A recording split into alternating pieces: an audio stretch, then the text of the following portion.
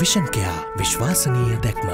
අපේ සමීක්ෂණවලට අනුව තවමත් සියට විස්සක් වගමන ප්‍රමාණයක් ඉන්නවා තාම චන්දය කාටද දෙන්න කියන අවසාන තීන්දුව නොගෙන. එහින් වැඩිකොටසක් තරුණ තරුණිය. ඇයි සජිත් අවුරුදු විස්සක් පාර්ලිමේන්තුවේ අත්දැකීම් බහුල පුද්ගලයෙක්. අවුරුදු විස්සක් පාර්ලිමේන්තු මන්ත්‍රීවරයෙක් නියෝජ්‍ය ඇමතිවරයෙක් කැබිනට් ඇමතිවරයෙක් හැටියට සේවය කරපු පුද්ගලයෙක්. අත්දැකීමත් තියෙන පුද්ගලයෙක්. වැඩ කරලා පෙන්නපු පුද්ගලයෙක්. සංස්කෘතික අමාත්‍යංශය අරගෙන මාස හතයි දාම් පාසල් ගොඩනැගිලි ලංකාව පුරා එක්දස් පන්සීයක් චෛත්‍යරාජයන වහන්සේ දහසක් මාස හතෙන් ආරම්භ කරන්න හැකි වෙලාති. වැඩ කරලා පුළුවන් වැඩ කරලා පෙන්නපු නායකේ.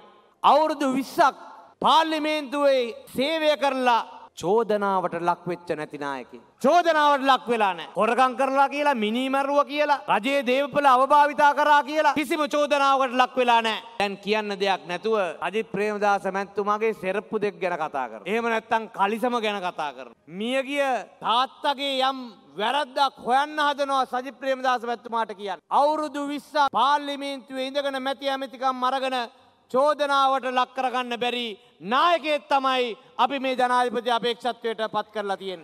ඒ ඔක්කටත් වඩා අපි මේ තරුණ තරුණයන්ට වැදගත්මදේ තමයි එතුමගේ වයස පනස් දෙකයි. වයස පනස් දෙක ජව සම්පන්න නායකේ මේක හැමදාම අපේ ලංකාවට හම්බේන අවස්ථාවකුත් නෙමේ. අපේ ලංකාවට ඉතා කලාතුරකින් ලැබිච්ච අවස්ථාවක්. මේ රටේ තරුණ තරුණයන්ගේ හදගැස්ම හඳුනන දුප්පතාගේ ගඳ සුවඳ දැනෙන තරුණ නායකයෙක් මේ රටේ ජනාධිපති කරන්න හැබෙන ස්වර්ණමය අවස්ථාවක් තමයි අද මේ ලැබිලා තියෙන්නේ අපිට.